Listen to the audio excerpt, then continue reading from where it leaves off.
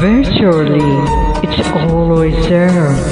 It gets better and better all the time. One of these days, I just finally release all that out. Jimi Hendrix, why voice over Zena Solaimon